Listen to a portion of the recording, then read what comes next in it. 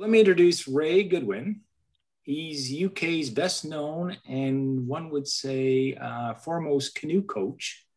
For more than 30 years, Ray has been introducing people to and developing people skills in the great outdoors. Ray has paddled all over the UK as well as extensively in Europe. keep admitting people here. And his groundbreaking breaking British canoe journeys include first circumnavigation of Wales and his first unsupported canoe crossing of the Irish Sea, as well as grueling journeys across Scotland. Uh, Ray's experience extends far and wide with his paddling career over four continents. Ray's North America canoe expeditions have taken him to the Rio Grande and as far north as the Arctic Circle. Um, Ray's North American exploits been have not been limited to open boats either. In kayaking, and he's made two descents on the Grand Canyon on the Colorado River. Uh, a British Canoe Union level five coach in canoeing, inland kayak, and sea. Ray has was the first coach to be assessed to level five in all three disciplines. Uh, okay, and Ray also has a certificate in mountaineering instruction certificate, MIC. Uh, Ray is a technical expert under the UK Adventure Activities Licensing Regulations 1996. And as such, he advises outdoor training centers on safety and good practice in the outdoors. He is an active writer, field of canoeing, and his articles appear in various publications. Ray wrote two chapters in the uh, British Canoe, it's BCU, I'm not sure what that stands for. Yeah, BCU. Canoe. Okay. BCU Canoe and Kayak Handbook, as well as sections in the standard UK textbook on whitewater safety and rescue. Okay, Ray's own book, Canoeing, was first published in 2011 and the second edition 2016. In 2019 New Year's Honors List, Ray was awarded an MBE for his services in canoeing. And what's MBE stand for, Ray? Oh, it's archaic, this one. Um, the It's the, I'm a member uh, of the of Order the British, of the British Empire. Empire. Okay, yeah. Empire. So okay. So there's quite a few of us I'm a bit dubious about this British Empire bit, and you, you do get people turn them down because of that connection. But I went, I'll take that. Thank you very much. Okay. But you, you get to go.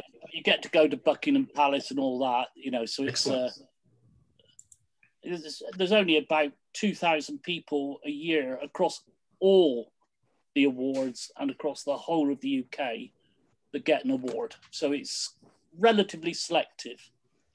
So, Excellent. yeah. So I'm going to hand it over to you now, and you could jump into your presentation mode. Okay. So hi, hi there, everybody. Um, seems really strange. It's, it's I think second talk I've done to Canadians about canoeing. So I, not that I feel nervous about it. Um, the yeah, I'm, I'm going to jump to the picture. So let's start with the share the screen. Let's see if that goes correctly. I'll get the right one. Okay. That looks good. Yeah. All right. I, I start, started deliberately with this ice climbing, and, and you know, Britain's a funny old place. Um, in the wood, it, it, for, for, for a period during the 70s and 80s, it was the world leading place for ice climbing, mainly in Scotland, but this is actually in, in, in England. And we do get ice. But the reason I got that up there, my background really was in mountaineering. And I didn't really start kayaking until I was in my 30s. I went to work in an outdoor center. And uh, I was a champion swimmer. They'd take me down all sorts of rivers in kayak and I would swim. Eventually, I started staying in my boat started going to the Alps, paddling really hard stuff. Um, where I live in Wales, there's a lot of hard paddling through the winter, so a lot of class five rivers in the right conditions. Um, went to the Grand Canyon of Colorado, um, been to Nepal kayaking, a lot of sea kayaking as well. So the reason I mention this is to give you my background. A lot of stuff in Scotland, uh, far ranging on foot, both as a climber and a uh, and a hill walker and as a mountaineer. So I knew Scotland extremely well, although I lived in Wales myself. And let's see if I got the the right. Yeah, there we go. And the thing with Britain, uh, this this is um, Scotland. This is Loch Quoich. Uh, it's up at 800 feet, which is what 250 odd meters. Uh, and ahead of me, uh, we were doing a, a, a, winter circumnavigation of an area. I'd saying an area that I knew very well on foot, but all around that boat there is ice forming, there's brash forming. As we got further across that particular loch, uh, we were leave, our paddles were leaving holes in it. Not not a place to fall in. You wouldn't have lasted many minutes in that stuff. So when I started canoeing, I one of the things that I loved about mountaineering, and I really did not get from kayaking, was that. Sorry, I go back there. Is it trying to jump ahead? No, I don't want it automatic. No. Um, we'll go back one. Um, one of the things with mountaineering is there's lots of history, there's lots of stories, and I really didn't find it the same in kayaking, both on the river and, and on the sea. When I came to the canoe, it was fantastic. There was a literature, there was a history. I could read all this stuff about Canada and the trips and how the birch bark canoe and the voyageurs, and I was inspired. The problem was I was going through a period of my life where I didn't have a lot of money, and I couldn't afford to go to Scotland uh, to, to Canada.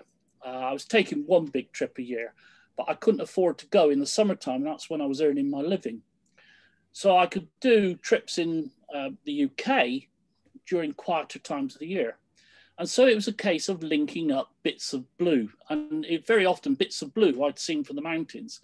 And this is the west coast of Scotland. Uh, the island on the far left of the screen is the Isle of Skye. And opposite is Knoydart. And a friend and I, I managed to persuade a friend. He'd done one trip with me. He he really didn't like my ideas. He thought I was bonkers, but I was able to persuade him. And I knew the Sea Loch, I knew Loch Quoich, I knew Loch Garry, I knew that the River Garry was white water. This, the, the, the Great Glen to Fort William was a normal paddle. So I thought, right, you know, we could link all that up.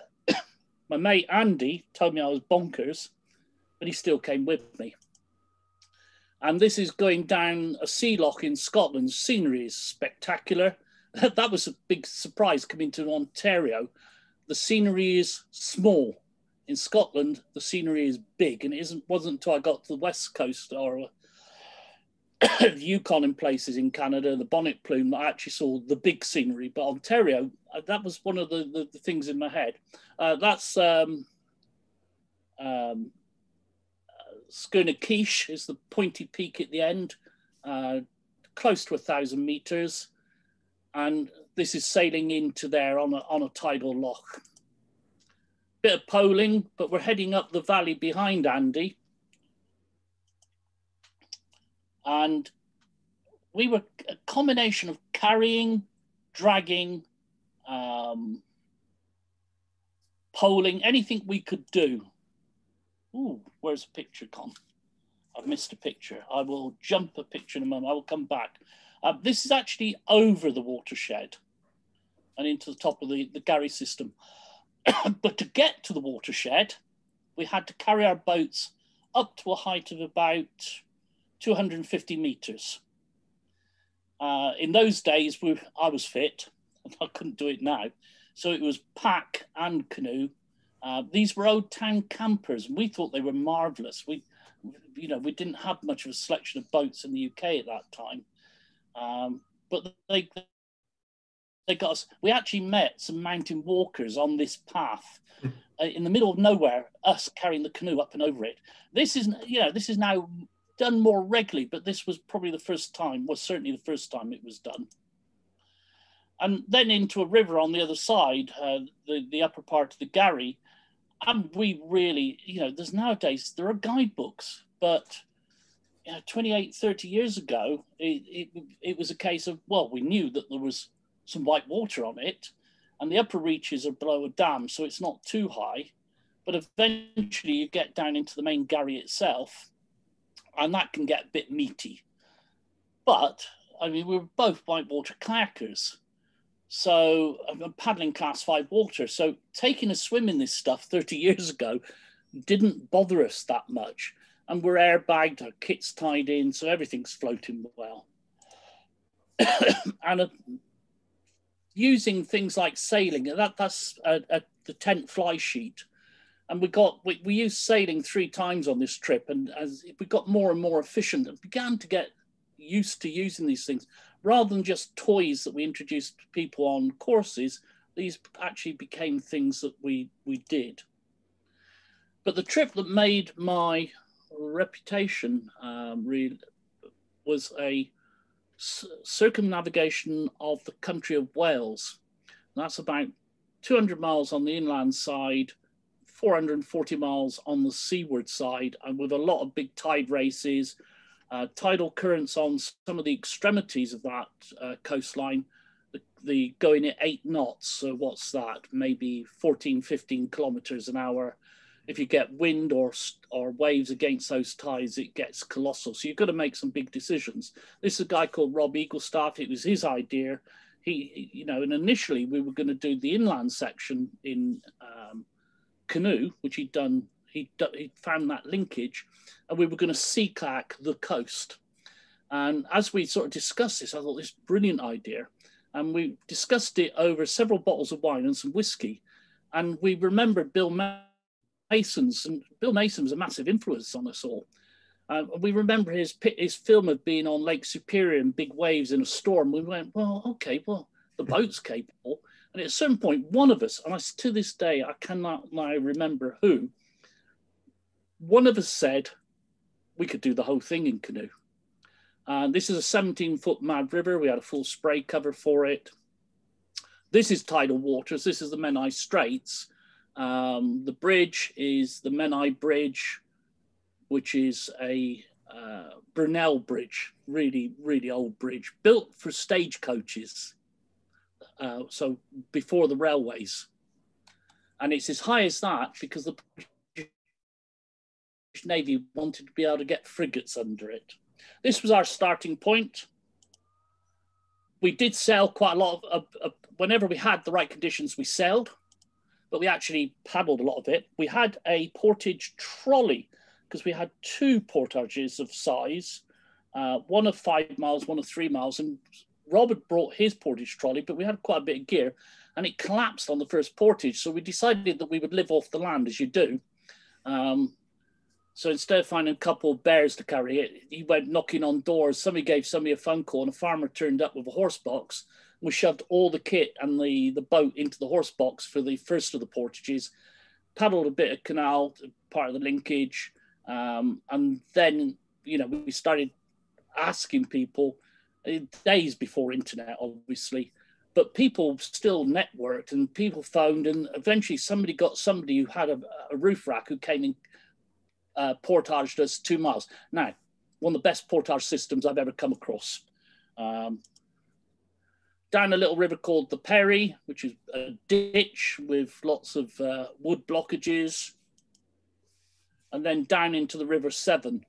And when we got down the lower reaches of the Severn, um, there are big ship locks. Sea-going boats used to come up here. Uh, and we got to this particular lock late in the in the evening. It was summertime. And Rob ran up to see the easiest way of carrying the boat round, and the lockkeeper was there. And the lockkeeper said, "What are you boys up to?" And Rob said, "We're uh, or where did you start?" We said Carnarvon. So with, Rob had to explain how we got there from Carnarvon, which blew his mind. He said, "Well, where are you going?" And Rob said, "Carnarvon." and he got really engaged with this conversation, he, you know, the idea of this circumnavigation. So he cycled our 17 foot canoe through a ship lock on its own. And then from then on, all the lock keepers knew we were coming. Uh, one of them put us up in his shed in his garden um, and then took us out drinking, which wasn't a good idea. And then down uh, the Bristol, uh, down the Severn Estuary, and the Bristol Channel. All looks really nice here, but you've got to get your timings right. This is, I've done this trip twice. Second time I did it in Sea Kayak, I was working, I was guiding. Uh, there's now a second bridge. And as a kid, I remember going to visit this bridge as it was built. The tide goes down through under that bridge at eight knots. So again, about 14 kilometers an hour. And it shoots you through. So we were getting big days. The problem is there are very few landing places. And in total, we were on the go for 18 days. Uh, our average was about was 32 miles a day. Our biggest day was 60 miles.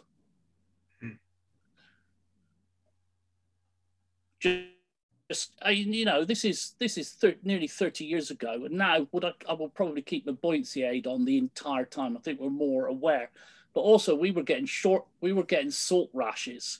Rob really got a bad salt rash on his ass because you were getting salt spray, and then your clothing was drying, and then it was just eating into the skin so hmm. anytime you could get rid of rub points, the vast majority was with paddles. Um, and Rob Rob's a phenomenal expeditioner. Um, and this is we were we just so happened to hit it right timing wise, so we could take two tides a day. So we were taking the first tide at about five in the morning that went in our direction for six hours. Then we'd come off the water for four or five hours, eat, rest, and then we'd go back on for another six hours so our biggest day, we, we actually clocked 60 miles. And Rob's idea was that he called it from the days of polar exploration when um, the when when the Eskimos were employed by white folk, they would sit and wait for the conditions to move. And then when the conditions were good, you just move and you move hard and you keep moving hard. And he he actually titled it Eskimo time when the conditions are not right for you, you just eat and you rest. And you wait for the conditions to come in your favor. So if we had to sit it out, we sat it out. Uh, came in through this surf beach. This is a famous surf beach. We'd landed, and then the waves started building up, and they're building a lot more than that. Get some idea of the scale from the kayaker. We knew it was a bad move. We got in on fairly calm conditions, when all the surfboards started to turn up, because the word gets out, people are finding each other, we knew we were getting stuck. We weren't going back out through the surf. It got very big indeed. The surfers were having a whale of a time. um, on along the coast, and that's one of the tide races. Um, we didn't get photographs of us in major action, but in one of these tide races, I was in the back of the boat. and we took turns both equally as skilled. Uh, and we got into one of these, and I remember surfing one big wave with the front third of the boat airborne. Rob, in reaching back to try and help me from the bow seat to steer, reaching as far back as he could, and, and his eyes boggling because he was so far airborne, he wasn't getting a paddle anywhere near the water. And there were two biggies, one after the other. Uh, there was a boat in relatively close proximity just outside the tide race, and it, they were keeping an eye on us, which was very nice. And then we had sections were really easy. Uh, we had a weird thing. Um, the, the Plains Indians had a thing apparently of counting coup.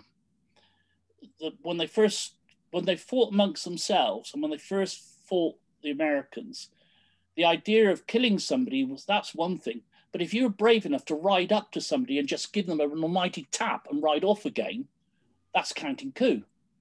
Well, these seals were doing the same. We had it happen twice. Seal come up, they'd be, be paddling along in easy conditions. Next thing, there's a mighty wallop under the canoe. You think, what the hell? You know, you, you know you're in deep water. And then 20 foot away, a seal would appear. Like, yeah, okay, guys, okay. Oops. Quite lean in those days. I could do a trip like that, but I think it would kill me now. Um, it wasn't all easy. Um, this was after a brutal crossing. We decided to cut one huge section of uh, a bay off. So we were about eight, nine miles out to sea, and we were on a 21 mile crossing. And the, the weather forecast turned out to be totally wrong. uh, there was a whole series of ridges passing over us, and the wind was 180 degrees out on what the Met Office had forecast. And instead of being in our favor, it started as a mirror calm, but it was due to be in our favor. It was against us. And probably at the end, it was a force four to five against us. But we've got in this 20 odd mile crossing, we got most of the way across. And if we couldn't make landfall, then we had to turn and run the 20 miles back in the opposite direction. Um, and that would give us lots of problems. It, you know, we would be safe, uh, but it would give us lots of problems. That's the result of paddling till I was dropping. Um, sea salt everywhere, dried on the skin, mentally and physically busted. You know, mm. you, you, you're doing maybe five strokes a side and then you just got nothing left. Swap to the other side and do another five strokes. You got nothing left, swap back. And you couldn't hold back. You know, if you, you had to make progress. And we were probably down to maybe a mile, mile and a half an hour at one point. And we were strong. We were really fit, really strong, and busting into that wave. We landed on an island, rocky shore, but sheltered from the wind and that's me just after we've got out, we've got the stove going, we're trying to rehydrate. Um, there you go. But you, that was 640 miles, 1,000 kilometers in canoe.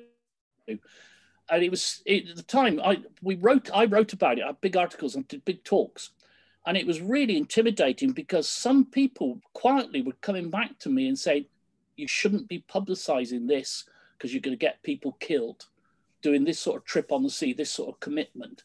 Now, um, you know, it's been surpassed, but it took 25 years to surpass that trip. And then once I was in that mode, well, I lived, um, I lived, can you see the arrow? Is the arrow showing up? Yep.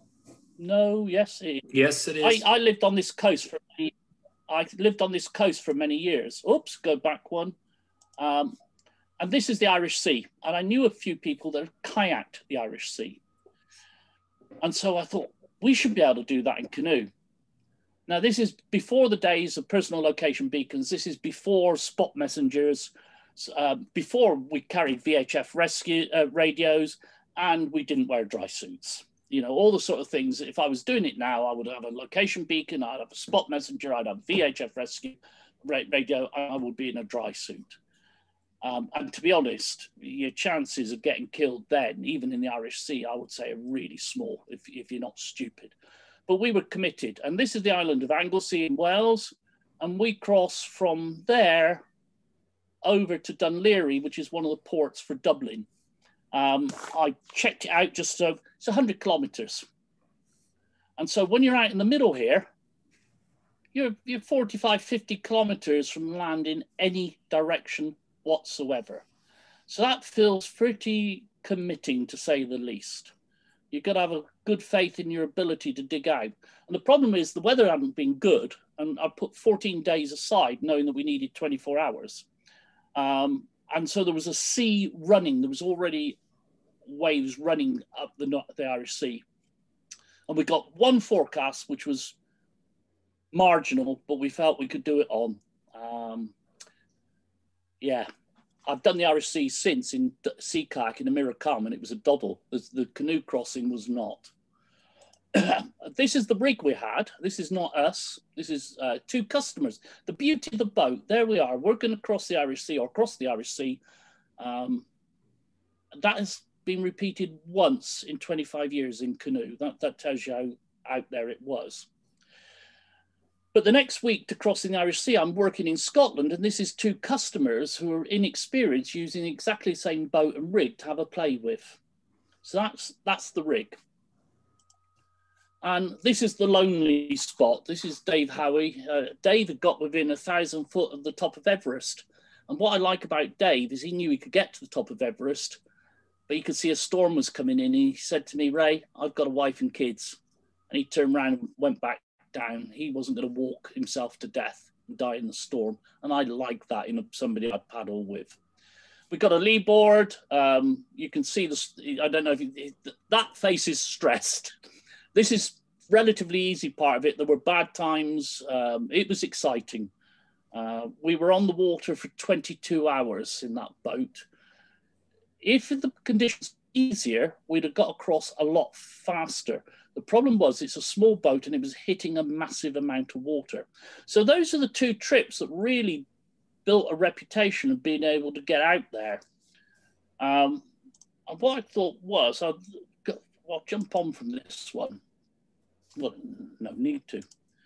Um, so from then on in, it was the trips I was doing were more intricate, but they didn't have that same degree of commitment. They needed a degree of imagination. So an area in Scotland called Knoydart, um, uh, do it in winter. We had ice axes and crampons with us, which just slowed us standing. We didn't get up any mountains. We weren't taking the boat up the mountains in the first place. And down, this is back down almost to sea level. And the great thing with these trips, you, you just use every bit of skill going. The water is only about a foot deep, um, so there's no need of, of buoyancy aid other than padding. But to be honest, at that stage, we were trying to dry back out because the, the work had been so heavy. Those of you do stuff in winter, getting clothes damp is not a good idea.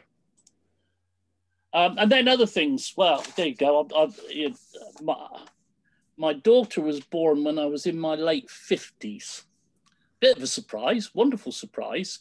This is day one. I just wanted to get her in the mood by giving her a paddle. Um, and she's done a lot with me now. She's very good And both. Those who look at my YouTube channel will, will see her in quite a lot of stuff. And I, I particularly love this one of her. This is um, one of the Scottish classics. A lot of people call it the Caledonian Canal. I prefer to call it the Great Glen. It goes from Fort William to Inverness. It crosses Scotland. It's spectacular. It crosses Loch Ness, which is 21 miles. Um, but here we're portaging past the locks on the uh, the canal. Uh, the canal was, designed for frigates, British frigates of the Napoleonic era, so they could cross uh, that area of Britain rather than going up round the top. And little Maya's what three years old, if if that. Uh, and I needed to keep her under control because there's a lot of deep water and big big drops. So I just came up with if I tied the painter off and gave her the painter, and she was marching along with great glee, pulling her daddy and guiding her daddy. So just a bit of trickery. and I'll mention this: I'm, I'm, I'm not really showing anything of the stuff I've done in Canada because I'm sure you've seen it all before, and many of you have done far bigger and far longer trips. So I'm out regularly, but one of the big things um, was taking Maya to Canada to Algonquin when she was seven years old. And we did a nine day trip along the Petawawa, um, mm. Big Trout, and then back through the, um, back down to Canoe Lake, Joe Lake, and the like. And we, uh, you know, I dare say four or five day trip for a lot of people. We took nine, we wanted lots of time. Uh, we had four young kids. So we had two seven year olds, a nine year old, and a five, a six year old as well. So it's quite hard work with all the portaging, but it was fantastic to see the kids in that environment. But one of the biggest things for me was a sense of relief once I'd done the trip, because traveling in the wilderness, traveling by canoe is defines me in this last 20, 25 years. And for not to have done a canoe wilderness trip in Canada, and I know a lot of you would have done it with kids, but for me, it's an expensive job and and it was just a, I've done it, I've enjoyed it, and it's also a sense of relief. I can go on and do other things. We were meant to be in Killarney last year, um, but COVID. There you go. Yeah. Um, oh, I had to stick that Canada one in. Um, Big Pine uh, on the French River, the very bottom of it. Um, stuck my head out of the tent in the morning and just saw the mist rolling down the river um, it wasn't quiet like this. It gives you a peaceful, quiet thing. Paul Kirtley that I worked with, I said, Paul, you got get in the boat, get in the boat. Didn't want to get his knees wet, so he was he was on the, the bow seat in reverse as you would. Hence the bow is very light, no kit in it. Um, somebody was very critical of the photograph, saying that it was technically it wasn't right. Well, his knees were dry. And it wasn't quiet because I knew exactly the shot I wanted. So I set the camera up on a tripod, I got the framing, and then it was air traffic controlling uh, Paul into position, left, left, forward, forward. Uh, and I took three shots. I got the one I want. And very often it doesn't work like that at all, does it? But this one I could see. I just saw saw that. I thought it was wonderful. So second edition of my book. Um, that's the cover. So anyway, a couple couple other things from Scotland. I'll go through fairly quick, and then people can fire questions away. Um, I see kayak guided for for a lot of years, um, and about four years ago, I wasn't spending enough time in a sea kayak, and my main customers were good. They were fit. I wasn't cutting it anymore, or, or was about not to cut it. Uh, and I guided sea kayaks around the island of Mull maybe five times. It's a 100 mile journey, you know, about 160 k kilometers. Fantastic scenery. Um, there are, I guided a lot far, far harder trips in, on the western side of Scotland because, again, you've got big tide races. The currents on this, this trip, generally four knots is the fastest. So maybe six, seven kilometers an hour on a spring tide, it'd be half that on a neap tide. So as a treat for me, I decided that I would like to go around Mull in a canoe. But condition dependent, if the weather forecasts were bad, I wasn't even going to bother to start. And a friend of mine, Colin Skeath, uh, lives up on this loch at the top Loch Sunart. Uh, and so, yeah, he fancied it as well. So we actually started from his home loch and circumnavigated the island. So a few pictures of that. Colin is exceptional. Um, he wasn't, a, he, he'd done a lot of hard rock climbing in Yosemite in California. Um, he'd climbed El Capitan. He'd done one of the harder routes on it, spent, I think, nine days on the rock face, uh, sleeping on portaledges. So mentally, this is a tough man. He was a police inspector. Um, now retired, very highly thought of, um, and then wanted to canoe around Britain. But his experience was quite low, and he came to me for lessons and what I thought of it. And I was a bit shaken by it because, you know, it was, uh, he didn't seem to have that much experience, but he had the right mental attitude. And he and his nephew actually circumnavigated the whole of Great Britain in a canoe, sailing and paddling it.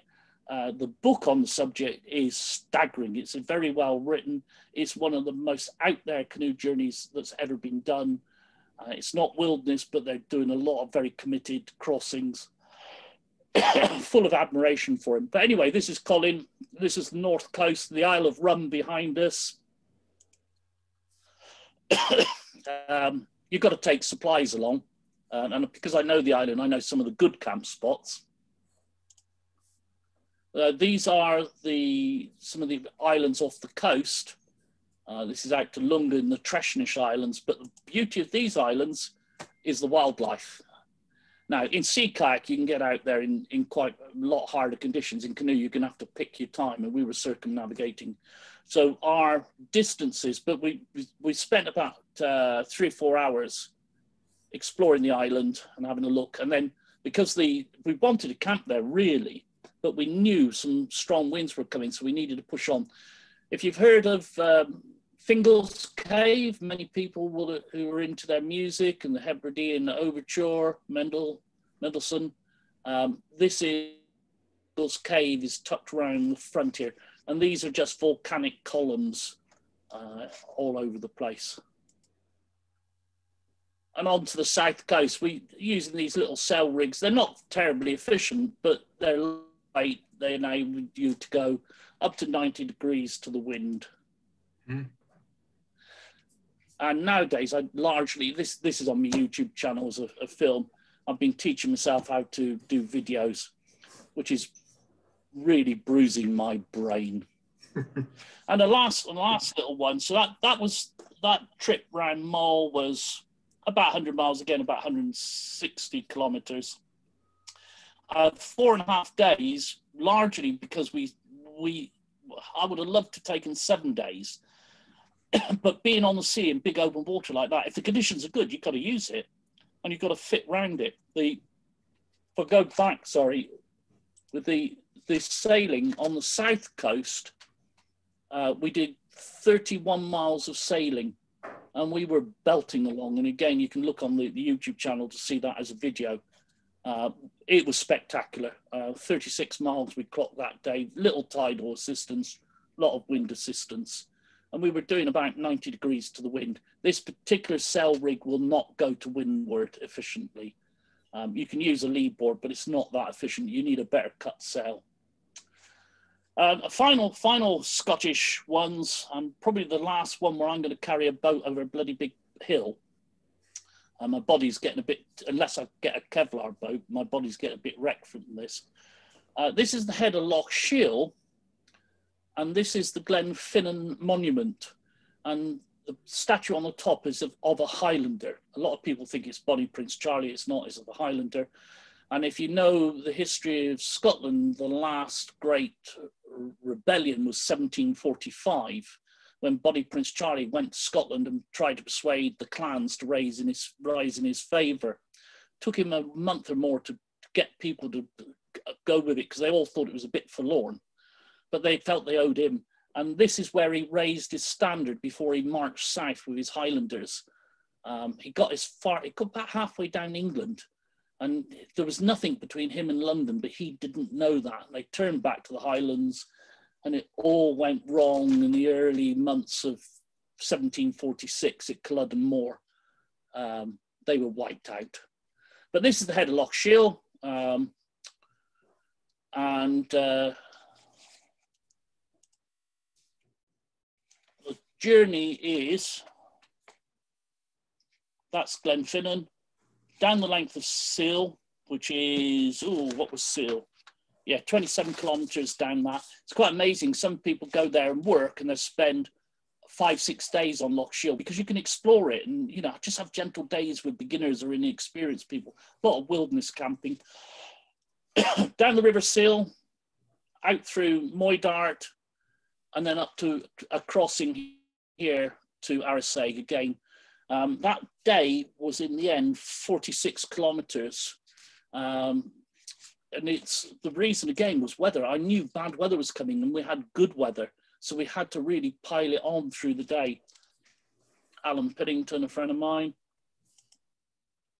The little river, uh, Shiel at the end of it.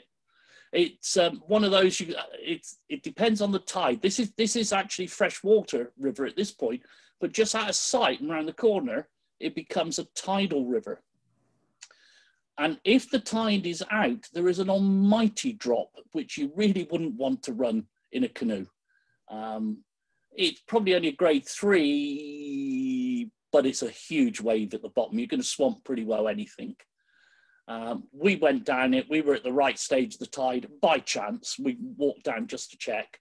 Uh, we just had a little bumpy rapid, which is very pleasant, grade one in reality you get and all over Scotland, you're going to get lots of castles. Uh, this is in Moidart. This is Tidehorns. Just another canoeist there with a little electric motor on his boat, mm. and then the crossing over to to to uh, Arisaig. Um, open water crossings don't bother me. It was the first one from my mate. he was quite impressed by it. And this was the reason we pushed hard that day to get so many miles done, is that there was a strong wind forecast the day after, but the coastline is protected by a whole series of reefs and skerries, little islands. And so for the first couple of hours of the day, we could actually sail up through those islands. I wouldn't have wanted to make the crossing in these conditions. And we're heading into a, another big loch. Is that um, this is very short of your river. boat? Sorry? Yeah. Is that a yeah, camera on the front uh, of your boat? It is a camera on the front. Uh, nowadays, on all my boats that I use, I've got uh, uh, an attachment on bow and stern, mm. and I use a GoPro and a blade, a trail Railblazer. Railblazer is the system, and I can just pop it in. It takes me 30 seconds to drop it into place. Uh, it, it was the it was trying to find that was quite something. So one of the reasons I can film so easily from the boat now. Uh, out of interest, uh, this railway viaduct is concrete. It's one of the earliest big concrete structures in Scotland, but the viaduct further back up is really famous from Harry Potter. This is the Harry Potter train route, and you can catch the Harry Potter film. And if you don't know who Harry Potter is, I'm leaving it there. and this is on to Loch Morar. This is, you know, this was about, um, well, what's this, about 12 miles? Uh, it's a fairly lengthy thing, but the wind was from the south. So once we got on the su southern shore, we were sheltered, but it was pouring with rain and we're heading up into this glen. And that's the head of the loch, and this is the glen here, and it's rough as, and it's gaining, well, that's what, up at 200 odd meters there, up at this height. Um, there's a path shown, but we happened to meet the laird, the, the landowner, who's probably in his 70s and one of his gillies, they'd come in by boat and they started chatting to us, and I should have got film of the of them. Nowadays, I would get film. when we explained what we were doing, we were going up the glen with a canoe to go over the watershed. He was and his gilly were absolutely rolling with laughter. I'd have loved to have filmed that now. You know, it would just be priceless, because most of this path has disappeared. Because this gives the impression it's what the the, the states created stalking paths to take the horses in, get people in to go steer stalking. They're still used to this day. But most of this is gone, particularly on the flat sections. Only on the steeper sections did any of it exist. Now, I was carrying the canoe. We weren't going to get all the kit over in one go. The advantage to carrying the canoe, and my mate's shoulders weren't up to it. So I'm not doing a trip with him again like this. Um, it provided the most mighty umbrella. And we were lucky the winds, there was no wind because everything was from the south. We were sheltered and it poured with rain. We managed to get up the glen. Uh, there's the wheels from the thing. My mate said, oh, we could use the wheels. Said, yeah, and yeah, in your dreams. And this is coming towards the top of the valley. So we've, we paddled into here and here is the trail. You can just see traces of it in places and most of it was bog. Um, when we went down for the second load, there's a bothy, an old uh, shelter the, the estate allow you to use, wooden floors, nice, um, nice dry spot. I didn't have a single bit of dry clothing on me. I was soaked. I'd been up to my waist in the water because by the time we came back down, it was it was hideous. Um, and that's actually at the top before we um, tied all the kit down for the night. Uh, this we had to stop here because the next stream was so big it was it was lethal you couldn't cross it so the other one was my mate had fallen in love with, with all things canadian so he's got a canvas pack. With it raining all day when he got back he put the canvas pack up for sale.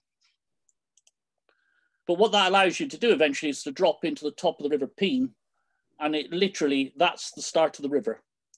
You come over the watershed, the, the, the river, you know, if you do it in dry weather, it's luck of the draw, but this would be walking for some folk. But there was enough to line it and eventually to paddle it.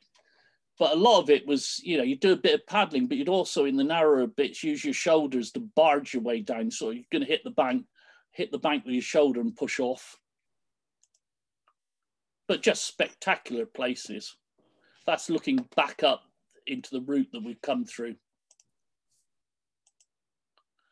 We get the midge, um, not many there, add a bit of protein. Um, I can never decide whether the midge or the mosquito is worse. When they're biting you, I think they're equally bad. The only thing is it's easier to keep the midges out. You, they won't get through clothing in the way that a mosquito can if you haven't got the right kit on and eventually down into the Great Glen and onwards. And this is back down, having started at sea level, this is back down at sea level at Fort William, having done a, a crossing of the mountains. So there you are, folks, some, some ideas from uh, some of the British paddling I've done. There's a lot of easier paddling that people do in Britain from uh, river, the River Wye and the, Thames and all sorts of things. There are easier trips in Scotland, but these were the trips that got grabbed my attention. And a lot of it was because I couldn't afford to go to Canada to start with. And I got into this habit of trying to link up these things and having um, adventures. When I got to Canada, it was nice to find the portages were not as bad as some of the Scottish ones, though they still hurt. So there you go. We can open it up to some questions now. Um, I don't know if you caught um, Matt Eberly sent you an email today, uh, Ray. Yeah. And he had a few questions, and I'll I'll just cut and paste them onto the chat, and maybe you can answer some of them. Let me just give me a second here. Just grabbing it from I can read them myself here as well. Okay, go ahead. Well, I'll post them Um, anyways because then people can look at them. So let me just Um, do that, everybody. It's kind of lengthy, but all right, there we go.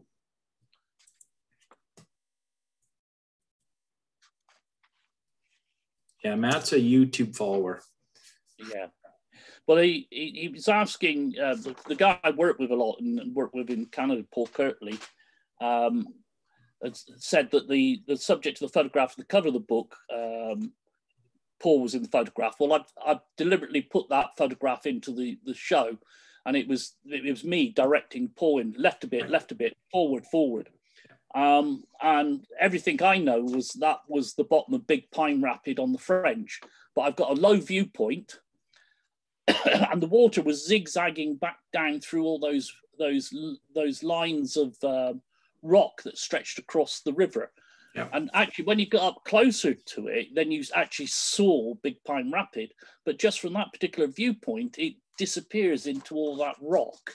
So I can assure him it was Big Pine. Um, Okay. And then he's, he's asking about Paul's video about Five Mile Rapids on the the French. French and whether Paul was exaggerating danger and couldn't find the particular piece. And the other thing is, Paul's audience is very often quite inexperienced people.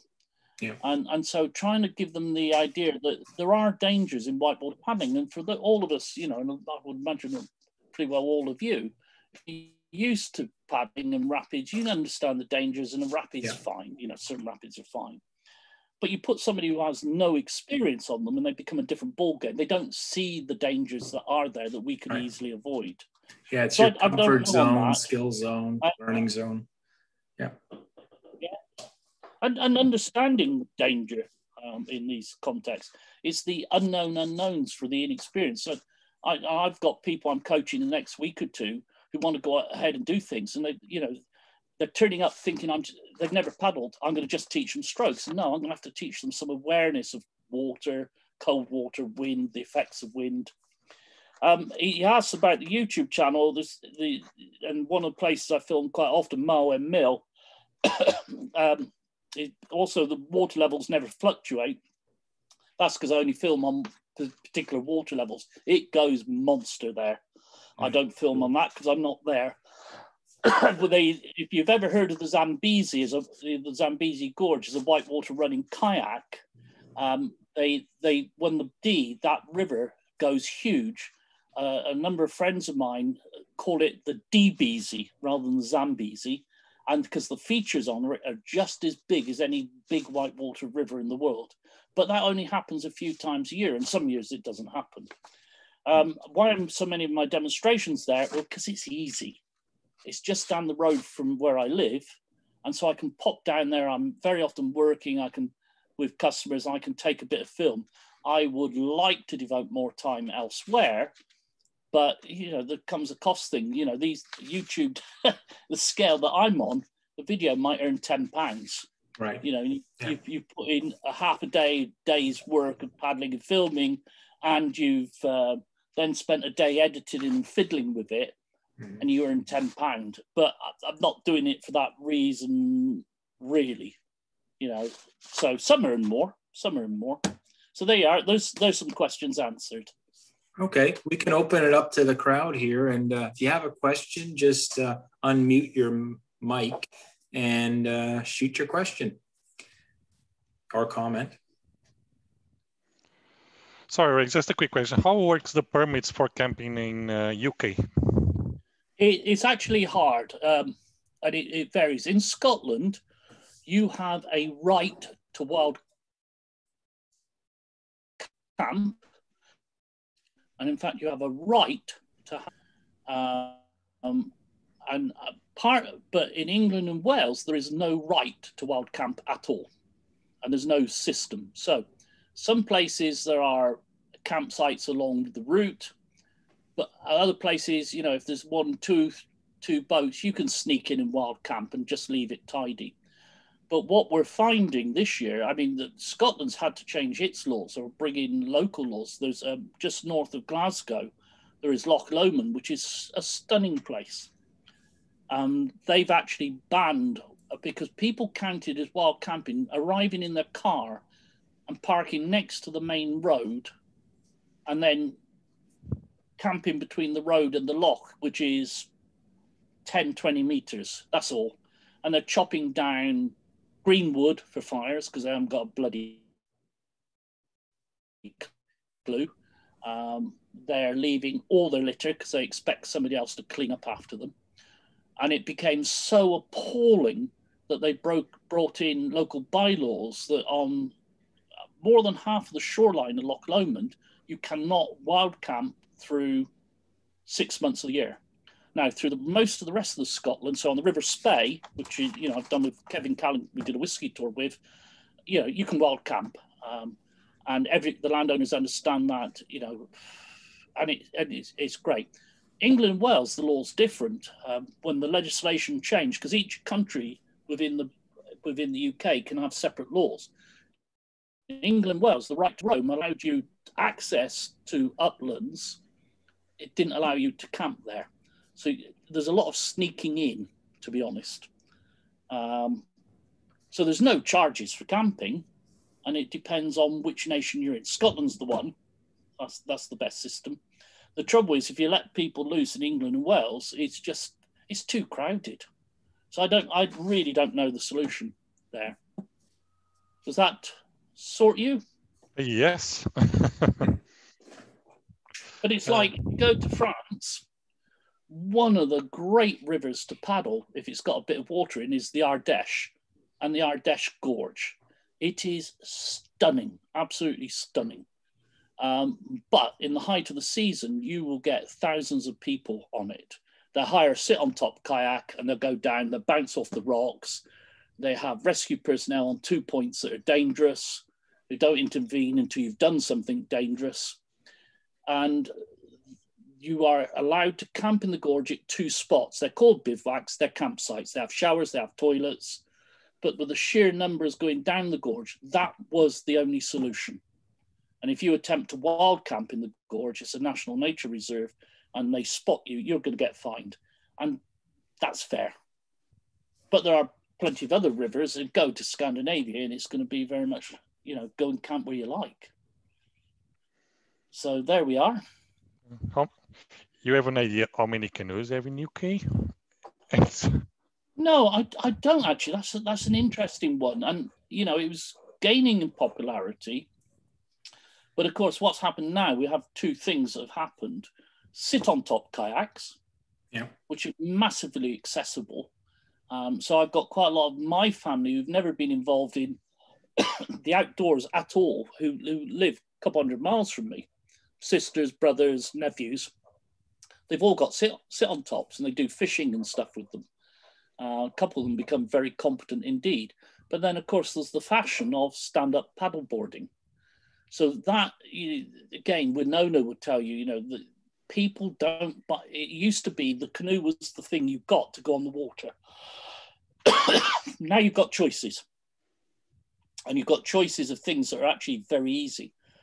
So we're expecting a lot more accidents. We're expecting on the sea a lot more rescues because, particularly some of the Welsh coast, there are strong tidal currents. And friends of mine have rescued uh, um, sit on top paddlers who've gone through one of the big tide races on a neap tide at the right hour and there's been nothing, and come back a week later on a spring tide and it's huge and they've gone swimming through it. And, you know, it's expressing great surprise that it's different from a week ago.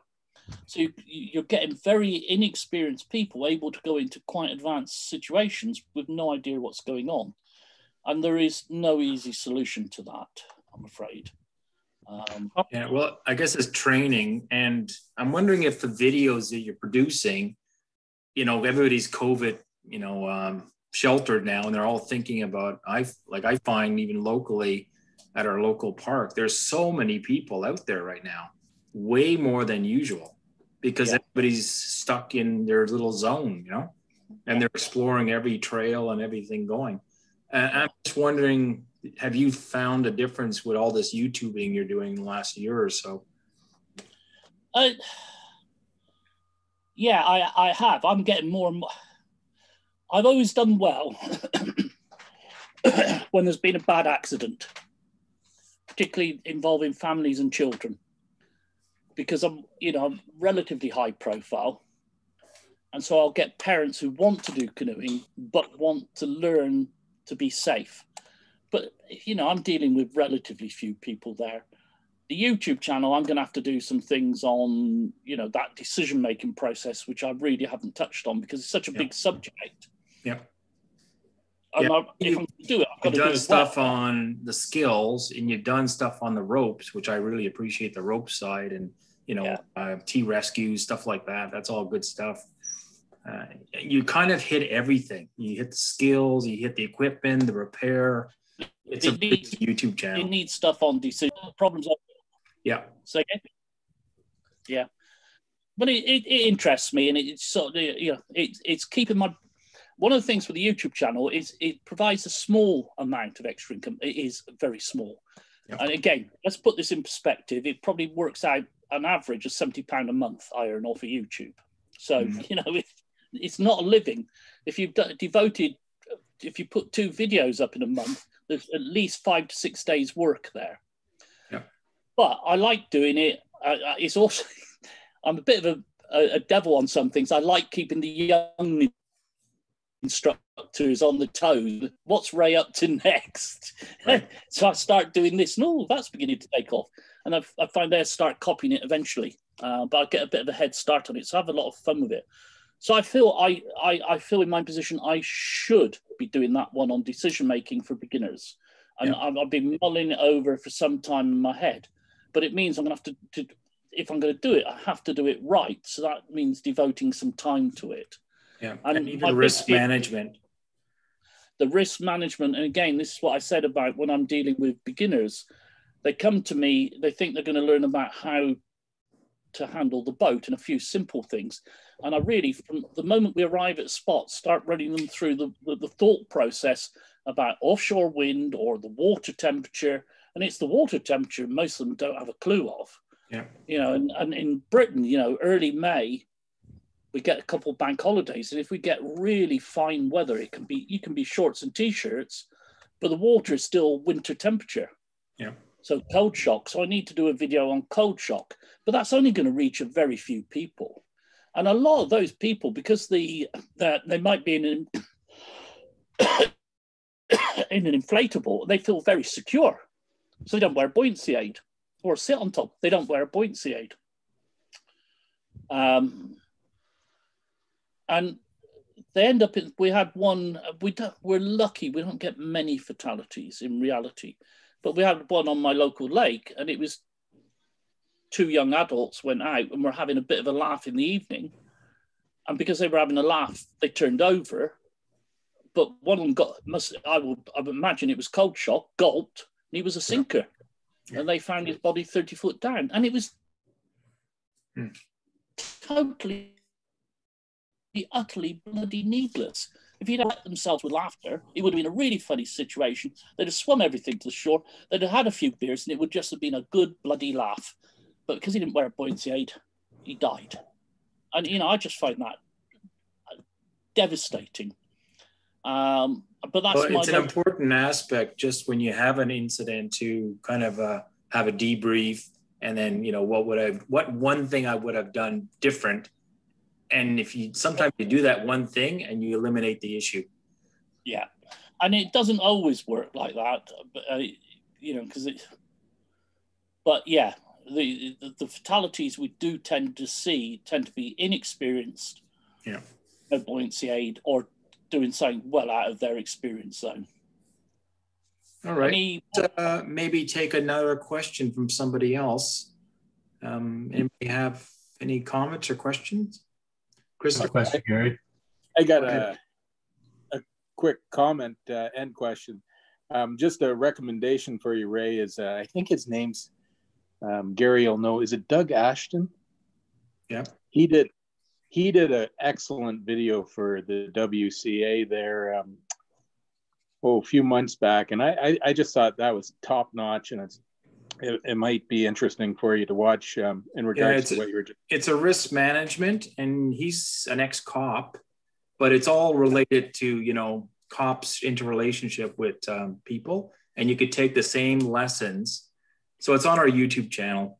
Uh, I think it was around the AGM, so probably around March of this year. Yeah, I've made a note of that. Thanks. Oh, yeah. it's fan.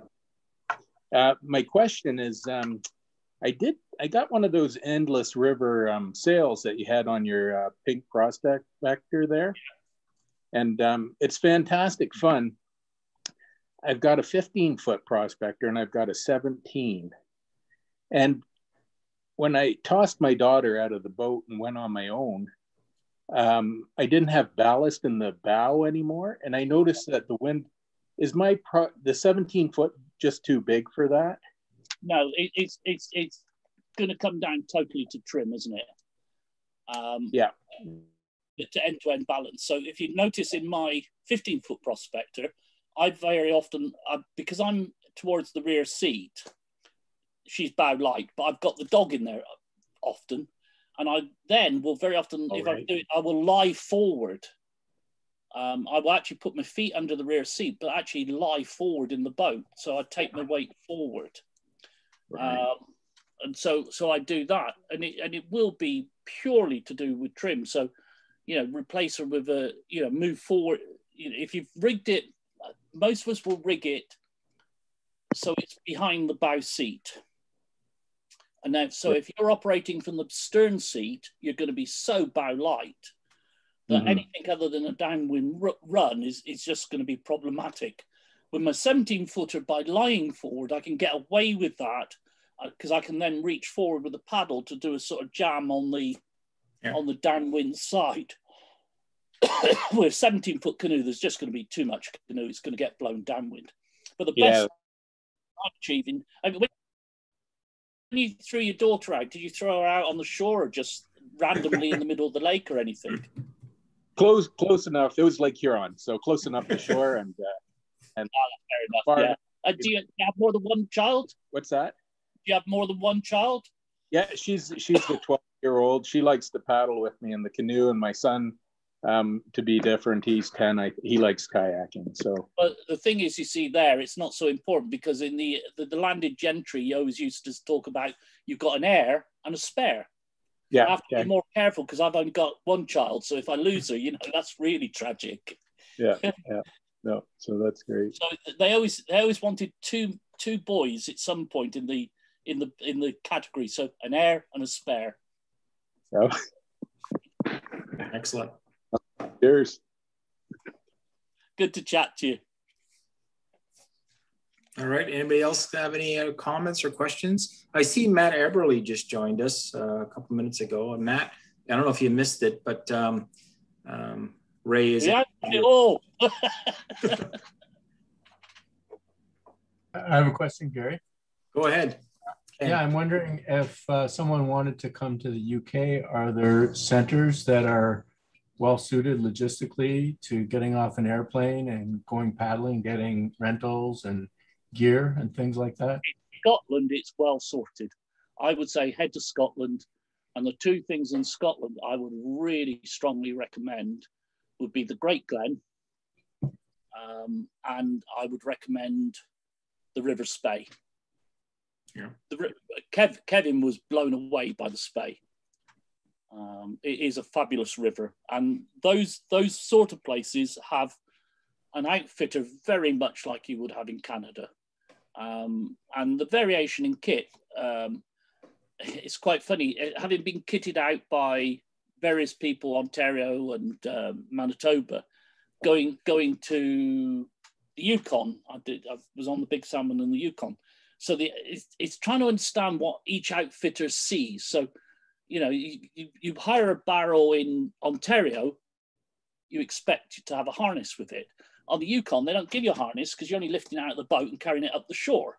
Yeah. But at the same time, you know, if you get a tarp from an outfitter in Ontario, it's generally pretty good. But on the Yukon, it gave us, you know, a tarp that would be more suitable for on the back of a lorry.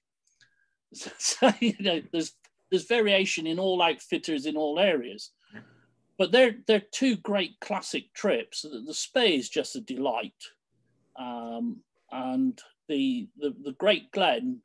The trick, uh, a lot of Brits call it the Caledonian Canal, and I really don't like that because it gives the impression it's a canal. But you've got Loch Lochy and you've got Loch Ness, and Loch Ness is 21 miles, you know, 30 odd kilometers long, and it funnels the wind.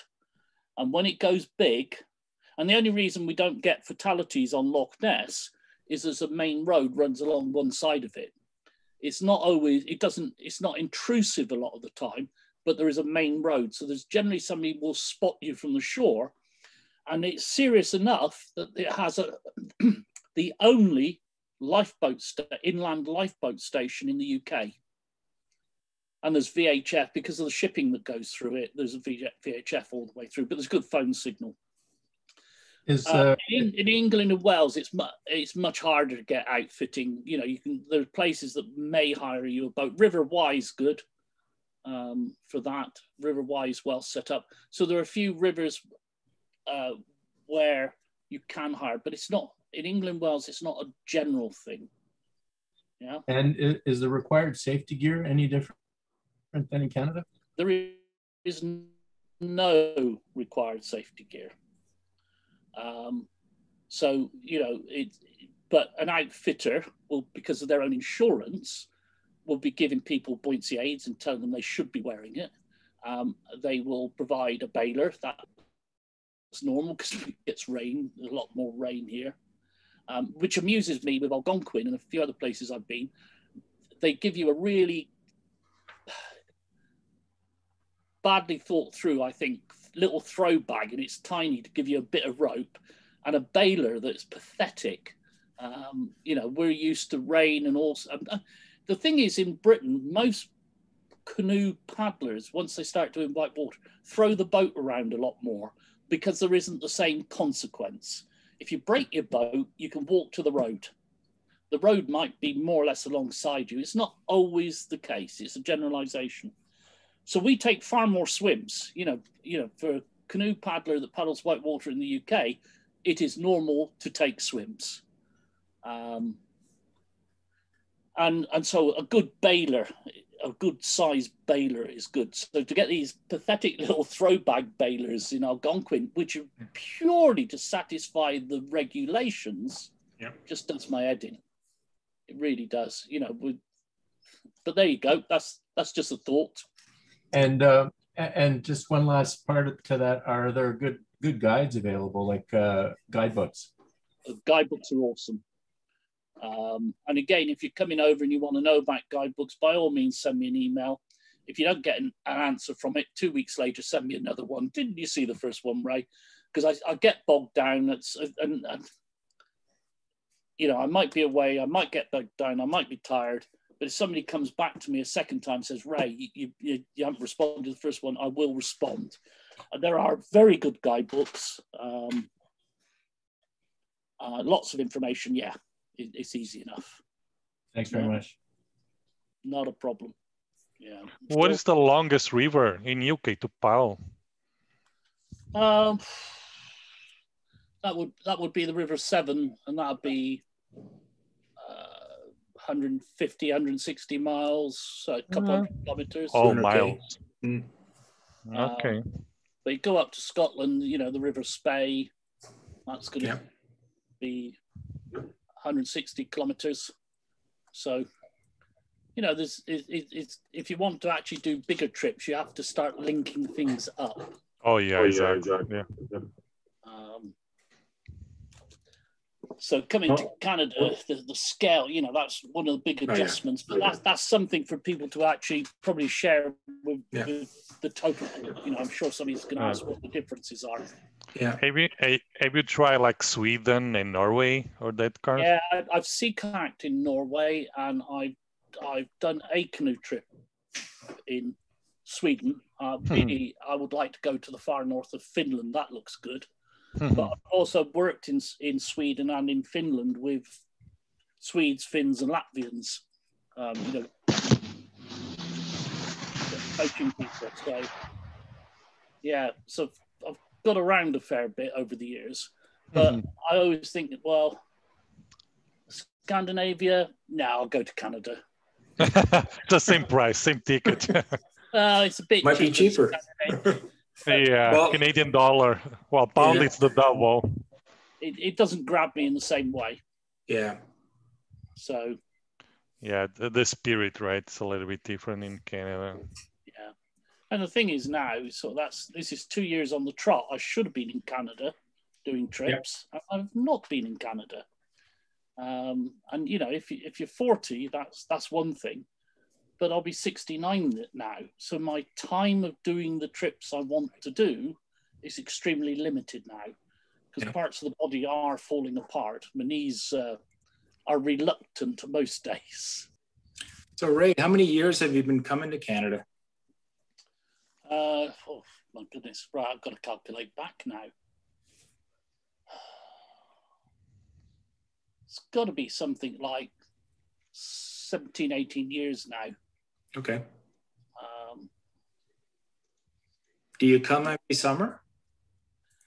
should be should be coming every summer, but you lot Okay. have sort of blocked us out for the last two years just because Yeah. we're disease ridden. That doesn't seem very nice. I'm going to ask one just in case. Uh, Ray, when, when is the best time to paddle in Scotland? Oh, that's um, that's hard. That really is hard. Um, you know, rivers like the Spey can get extremely low. Um,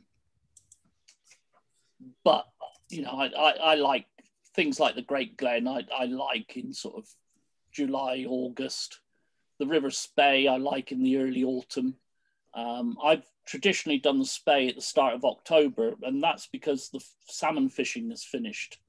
We're allowed to be on the river. The salmon fishermen are good, but when I'm guiding, coming around every corner trying to spot the salmon bloody fishermen, uh, does me head in after a while. And in October they don't, and that's interesting because normally I'm out in Canada for the first few weeks of September.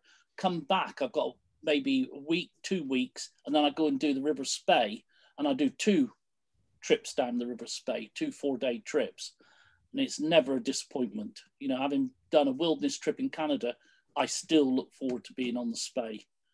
Um, but there are tricks with that. I, I, if people want me to do it in the fishing season, I say, okay, but we'll start from Loch Insh on the Friday morning because there's very little fishing in the upper reaches. So the first day and a half, the area is very few fishermen. Saturday afternoon, the professional fishermen, uh, gillies that look after fishermen, knock off. So there's little fishing on Saturday afternoon. So we get some good white water then with nobody around. Sunday, they're a God fearing nation. So there's no fishing allowed on Sunday.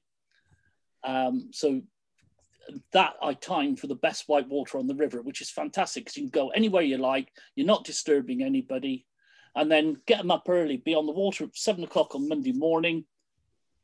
And we're getting towards the end before the first fishermen are up and out and running. So there's all sorts of ways round. So, you know, you don't have to do the Spey um, in a later part of the year. It's nice to do it earlier. And the fishermen generally are very friendly up there. They're not here in Wales. And salmon fishermen in Wales feel they own the river. Um, so it just depends on the river. And then some of the more white, bigger white, the interesting white water, which tends to be done as day trips here in Wales, we're really dependent on rain. So, you know, you- you're looking at October, November, December, even January, February, if we haven't got snow. But on the other hand, you could get a month long dry patch. So there's no easy answer. You know, Okay. Yeah. Perfect. Um, Thank you. All right. I don't know if Glenn got his thing working. Sorry, Glenn. I we could see you talking. We can't hear you. You could type your question maybe in the chat, Glenn, Glenn, tap the mute button. or do you have sign language? Yes. No, we can't hear you. Okay, I think we're going to wrap it up then. Uh, thank you, Ray. Uh, Ray's from England, of course. He's 1.30 in the morning. excellent presentation. I'm glad you're still awake. yes. Yeah, it take it take me half an hour to wind down now because my brain's active. so enjoy the rest of your evening, folks. Wonderful to be um, Thank you. Zoom, Zoom with you all. Really enjoyed chatting to you. Thank you, Ray. Right. Thank you very Thank much you. indeed. Thank you. Cheers. Good evening. Good evening and good night. yeah. Thanks very much again. And I'll chat to you on, on another occasion, Gary. Okay. Thank you very much indeed, all. All right. Bye.